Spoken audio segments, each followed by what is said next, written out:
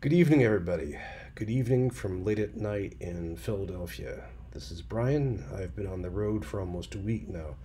I've been to two academic conferences and along the way participated in or given several different webinars and online events, and I wanted to share a few thoughts based on those experiences in regards to the fall for higher education. Uh, I think overall, I'm getting a sense of more parts of higher education being more concerned in improving the quality of student experience. And I mean this in a few ways. Uh, one of the events I went to was um, a really, really good conference for uh, food service workers in higher education. And it was fascinating. Uh, very friendly people, lots of information about food service operations and the problems they face. But one of the themes that I walked away with is that uh, this is a sector of higher education that is very keen on providing the best possible service to our population, including students, and they see themselves as having to cope with an ever more complicated student body, one that has varying dietary needs. Some of them are driven by allergies or other medical conditions. Some of those are determined by different cultural backgrounds. And so they see themselves as wanting to support those students, to give them the best possible food experience and they want to do this with an eye toward sensitivity, which is just great. I also went to a conference for architects and campus planners. I gave a, or as part of a panel there, and found some really interesting sessions and conversations about supporting neurodivergent students. So there is the idea, which I think is pretty commonplace across higher education, that with increasing numbers of people with learning disabilities and or being on the autism spectrum, that academics have to do more to support these students.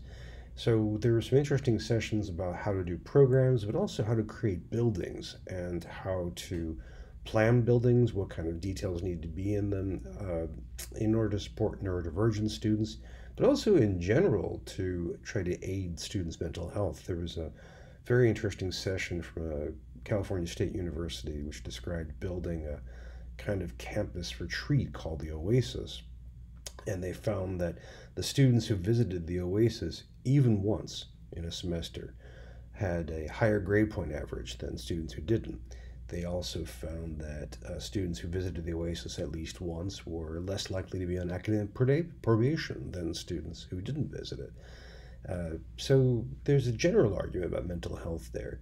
And I think all these trends are likely to keep going. Uh, we don't fully understand the reasons behind the growing numbers of neurodivergent people, and part of it is due to improved um, detection, and part of it is due to a decreasing stigma around mental health.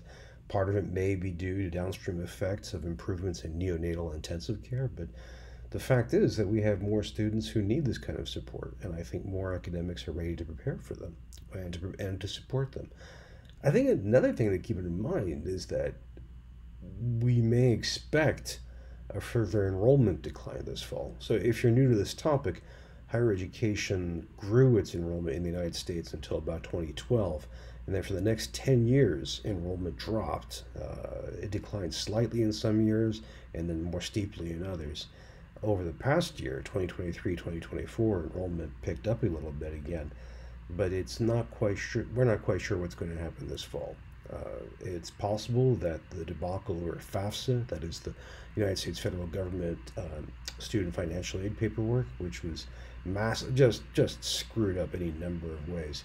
Uh, there was a long delay in students being able to complete the form and get it in and learn about their financial aid. So it's possible we might see uh, enrollment tick down as a result of that this fall. We won't really know until probably October when we get the first National Student Clearinghouse data. It's also possible that politics will depress uh, student enrollment. We know that uh, from a recent Gallup poll that American higher education is even in less esteem than it was before.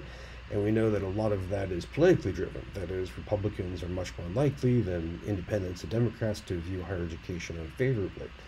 And it may be that as the election between, let me check, Trump and Harris heats up, uh, that higher education may be uh, a battleground.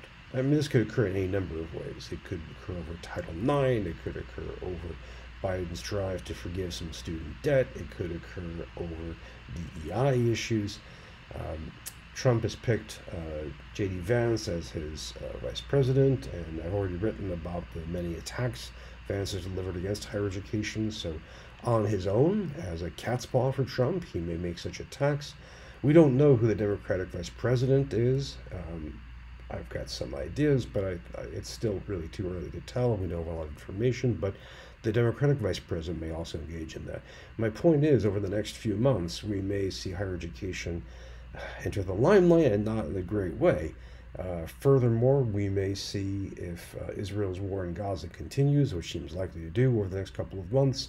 As students return, we may see a return to spring 2023's encampments, which again may, you know, the appearance of which some in higher education have blamed with decreasing enrollment or decreasing uh, admiration for higher education. So all these things put together suggest we may see a little downward pressure on enrollment this fall, and academics are ready to do various things in order to support students. So again, it's this theme I've been noticing over the past, you know, roughly decade of perhaps decreasing quantity and increasing quality.